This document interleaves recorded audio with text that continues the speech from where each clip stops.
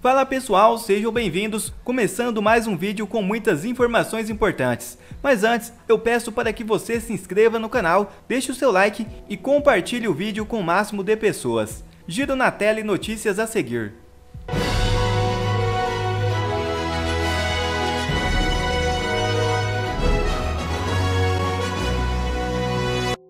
Primeira matéria já na tela. Moraes sobre 2024. Não serei eu no TSE. Para alívio de vários. O ministro idonizou a oposição e defendeu a regulamentação das redes sociais. É isso mesmo. Nesta sexta-feira, 18, o ministro Alexandre de Moraes, presidente do Tribunal Superior Eleitoral, esteve no Fórum Brasileiro de Inteligência Artificial, organizado pela Fundação Milton Campos e pelo Partido Progressistas. Em seu discurso, ele defendeu a regulamentação das redes sociais e da inteligência artificial e cobrou o Congresso Nacional para que faça um regramento antes das próximas eleições. Moraes também ironizou seus críticos ao afirmar que nas próximas eleições ele não estará na presidência do TSE. Não serei eu nas próximas eleições, para o alívio de vários, mas o TSE vai ter que regulamentar, afirmou o magistrado. O pastor Silas Malafaia rasgou o verbo contra a fala de Alexandre de Moraes de combater a extrema-direita. Veja o vídeo. Povo abençoado do Brasil, não vou passar para a história como covarde ou omisso. Olha a fala absurda e cretina do ditador da toga Alexandre de Moraes no TSE. Ele diz que o crescimento da extrema-direita na América Latina tem que ser combatido porque é uma ameaça à democracia. Gente, isso é um absurdo.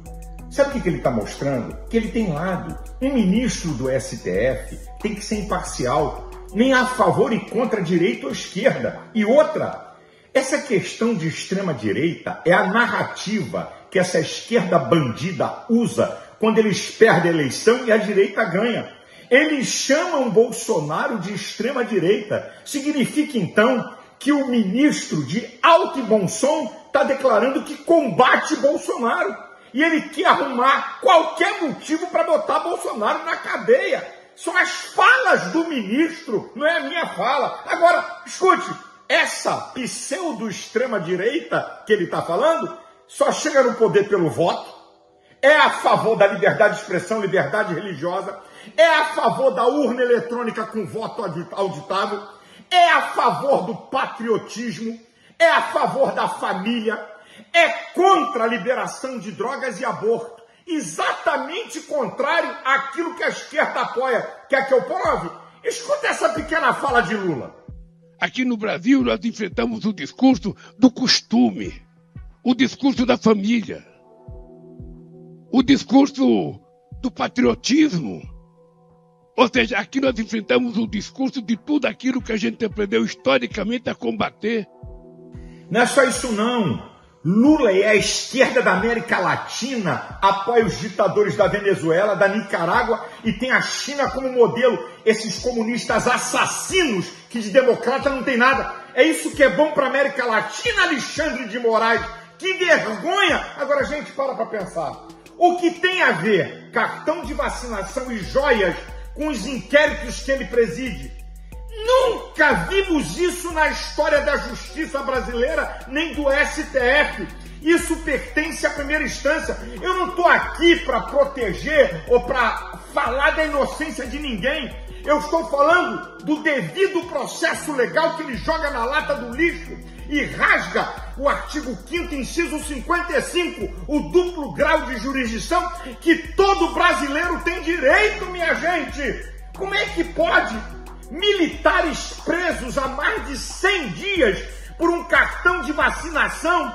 Isso não pertence a ele, a primeira instância, e não era para estar preso um dia. O que tem a ver joias com ele? Roubaram bilhões, os governos do PT saquearam bilhões e bilhões e bilhões e está todo mundo livre. E a Lava Jato ainda conseguiu recuperar 25 bi.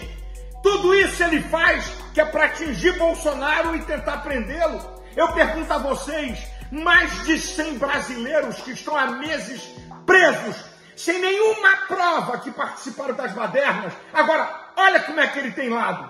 O chefe do GSI de Lula general Gonçalves Dias, dois dias antes da baderna, informou a BIM que havia baderna. No dia da baderna, abriu o palácio para os baderneiros. Por que Alexandre de Moraes não mandou prender esse cara? Porque é conivente porque tem lado, porque é parcial e porque odeia a direita. Essa que é a verdade. Eu pergunto, não tem um jornalista sério da Folha, do Globo, da Veja para questionar esse camarada? Senadores frouxos e covardes na sua maioria. OAB, cambada de covardes esquerdopatas. Não tem um ministro do STF para abrir a boca e questionar os desmandos desse cara todos eles omissos e calados. Sabe qual é a minha esperança?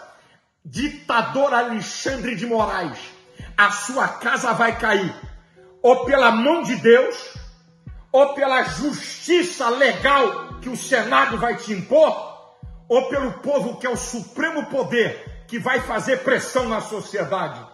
Que vergonha nós estamos assistindo. Deus tenha misericórdia do Brasil. Outra matéria já na tela. Bolsonaro compra a briga e vai ao contra-ataque de maneira fulminante. É isso mesmo.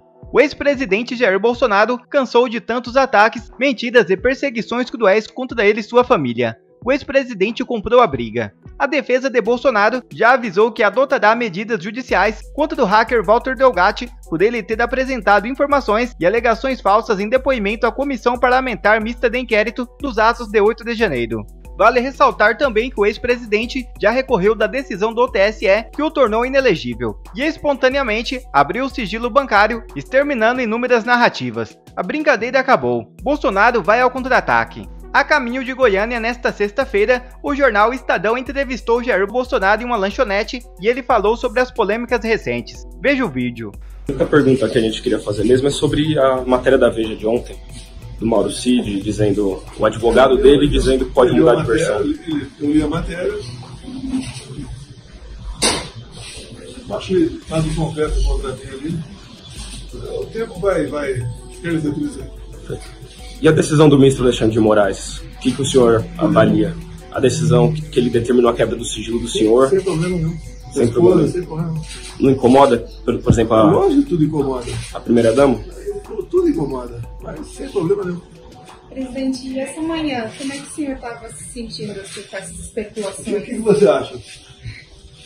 Eu, tô, eu tenho pressão desde antes de, de assumir a presidência. Passei quatro anos difíceis, né? Para o Brasil, para mim também, para a família. E eu estou oito meses já aqui. Estamos em agosto, né? E parece que eu continuo sendo. continuo pautando a mídia. E Tem uma declaração ali agora do, do Lira falando sobre esse caso, né? A que voga aí. Todos os presidentes tiveram problema. A legislação é confusa. É de 91, se eu não me engano. Tem uma portaria também. Bom dia. Bom dia também. Tem uma portaria de final de 2018 do governo Temer. E ali está dito que é personalíssimo, que quem disse qualquer é, presente é personalismo não. É, uma, é um órgão da, da presidência. E tem que começar por aí. Eu quero, gostaria muito que vocês fizessem né, jornalismo investigativo. É, essa, essa equipe que trabalha não é comissionada, pessoas antigas. E classifica. Classificou personalíssimo, entra no, no acervo pessoal do presidente. Conforme a própria portaria de 2018, é do presidente Temer, né? não é dele, é do governo dele. Fala que joia é personalista. O, o presidente, a, a Veja cita essa portaria do Michel Temer e lá está descrito que essa portaria foi revogada. Preparado no final de 21. Não, eu- no seu governo. É, em relação a isso, já não vale mais a portaria.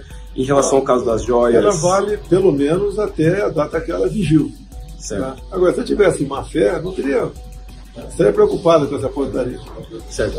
O, o caso, então, não, não se enquadraria no Rolex, por exemplo, da Arábia Saudita, mas Eu o não vou- Patek eu não vou Philippe. entrar em detalhe. Quando a portaria é revogada, o meio tem uma vacância. Ah, o TCU, em 2016, fez uma. Aqui, ó, eu não sei qual o termo aí. Ah, Não, não acordo, o TCU de 2016, fala numa. Provoca o parlamento, se eu, não me, se eu não me engano, provoca o parlamento para que uma decisão legislativa né, seja tomada para botar, um- botar um ponto final nessa questão. Você pode ver, o Lula sofre até hoje com isso. Todos os presidentes ah, apanharam tocante a isso aí. Eu não, estou nesse bolo. Presidente, quanto ao Walter Delgatti, o senhor faria uma cariação com ele? Peraí, peraí. Vamos continuar essa assunto aí. O senhor faria?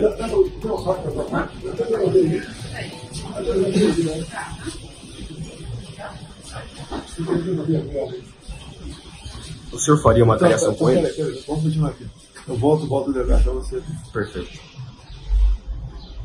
Então tem que ter uma legislação que, cara, que você pode ver, o problema que eu estou tendo no governo é isso, uma legislação todo mundo, com boa fé, quando vê a legislação, não tem problema. Tá? Outra coisa, quando você recebe presente fora do Brasil, você recebe muito presente.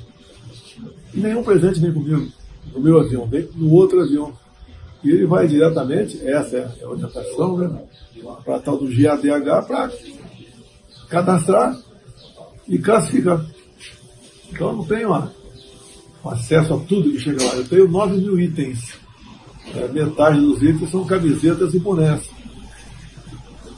Agora, camisetas e bonés, o que fazer com isso aí? Está tá guardado um canto, está bem guardado, mas é só dor de cabeça. Só para esgotar esse assunto, então. Mas o, o, ponto mais, mais tenso é que na PF tem lá um diálogo do CID dizendo, por exemplo, que um dos relógios foi vendido lá nos Estados Unidos, em Nova York, e seria dado 25 mil dólares para o senhor. Eu não recebi nada. O senhor não recebeu nada. É, e Delgatti, Delgatti. recebi o Delgatti não lembro. A Casa Bé levou lá. O que a gente procurava naquela época? É a certeza que o sistema é, é seguro. Tanto é que eu encaminhei para a Comissão de Transparência Eleitoral, que foi uma comissão foi criada, uma portaria do ministro Barroso, e, e era para exatamente é, colaborar com o TSE para que a eleição fosse a mais segura possível. Ele, pelo que eu sei, ficou lá talvez 15, 20 minutos. Pelo que eu sei, não foi recebido pelo ministro da Defesa, foi recebido por alguém dessa comissão de defesa eleitoral e foi liberado. E pelo que eu sei, pelo que eu sei, nunca mais voltou lá. O senhor faria uma cariação com ele? Mas para que fazer a cariação? A- O, depoimento dele teve partes que Olha o Weingarten disse que foram mentira. Olha, Para pera- pera- contestar. Vai, vai- vai com calma aí. Ali foi mostrado a vida pregressa dele, mas estelionatário quanto mais. Tá certo? A cariação tem que ser em pontos, em pontos é, é, sensíveis, né? É a palavra dele, só a palavra dele, mais nada. Ah, Você pode ver, ele está preso. Pelo que eu vi na imprensa, ele não, não quer delação premiada, ele quer entrar no programa de proteção à testemunha. Quem está preso não tem programa de proteção à testemunha. Está preso. Aí você pode ver à tarde, quando o pessoal aí da oposição começou a inquirir, ele não tocou mais. Agora ele falou coisa importante ali. É, que até 2018 apenas uma pessoa tinha o código-fonte. Ele disse que essa pessoa poderia alterar das eleições. né? Ele falou também de 2018, um inquérito que foi aberto lá e até hoje não foi fechado, que foi apurado inconsistências nas minhas eleições de 2018. Esse ponto que não entender é, dele ser focado. Então, é uma cariação. A gente tem que fazer, a gente faz, né? O senhor disse que não recebeu nada, mas o senhor mandou o Maurício de vender as joias? Essa é a questão que está pingando. Eu já vi outra matéria aí que eu tenho conversado com ele, nem com o advogado dele. Acho que é da Folha a matéria. Dizendo que ele tinha autonomia. Ok? Vamos, Jair? É Deixa eu que- só, só te perguntar uma coisa, a questão do TSE. É, se não, não- existe já um processo no TSE para apurar a questão de segurança das urnas, por que, que foi pensado em falar com ele para apurar isso? Olha só. Houve uma interferência do parlamento em 20, 21, onde ia sair o voto impresso. Tá? Agora, a dúvida é de muita gente. Vários parlamentares, o próprio Zé Disseu, acho que 98, 99, ele era deputado e queria mais confiança nas urnas. O próprio Carlos Lupe, que anunciou né, lá para o TSE, o próprio Caluco fez, inclusive, uma gravação de 30 segundos e foi ao ar do programa eleitoral YouTube dele, aquela, aquelas sessões que tem anualmente, ele dizendo que sem recontagem de votos não tem segurança na organização das eleições. Requião também, se não me engano, teve um projeto, projeto nesse sentido. Eu tive. É uma dúvida minha, não inventei agora. Tá certo? Agora, tem lá um, dois requerimentos do Espírito de um amigo convocando é, o, o nome dele, Giuseppe Janino, que foi por uns 15 anos chefe de TI lá no TSE, e pedindo também a cópia da, daquele inquérito de 2018. A gente vai clareando né, esse assunto. O que, o que todo mundo quer é, é transparência, é segurança, é a certeza que o processo democrático é perfeito. Todo mundo quer isso aí. Presidente, para o senhor poder tomar ação. É, o senhor mandou o Maurício de vender as joias? Olha, ele tem, como está na maqueta da Folha, tem autonomia. Não vou mandar ninguém vender nada. Bacana. Então ele agiu por é, conta própria. É um projeto. Joias é tido como personalíssimo, ou seja, pertence ao presidente. Até 2021. Até 2021. Agora, a partir de. Eu, deixa claro, foi no meu governo que eu portaria. Se eu tivesse intenção outras, né? Não teria revogado, teria preocupação com essa portaria. Teve uma viagem, por exemplo, aí a imprensa falou muito, do escalão nosso, os 20, 25 pessoas receberam relógio daquele chefe, do chefe daquele país. Inclusive discutir, devolve, não devolve. Foi decidido que ficava com essas pessoas. Anulado então a portaria, pode ter alguma implicação? Anulada. Olha só. A portaria do governo Michel Temer, então você Foi presidente da casa três vezes, é um funcionalista, uma pessoa respeitada. Tá? Exerceu aí dois anos e pouco do governo. Tá? Eu entendo, com toda certeza, do senhor Michel Temer, que a portaria é legal. Como mínimo, até final de 21, tudo é personalista. Pertence ao presidente, inclusive joia. Dali para frente pode estar um vácuo, onde você precisa de uma lei para disciplinar isso aí. Tem matérias que dão conta de que ali no ano de 2022 teria tido mais algum presente. Então 2022 seria irregular?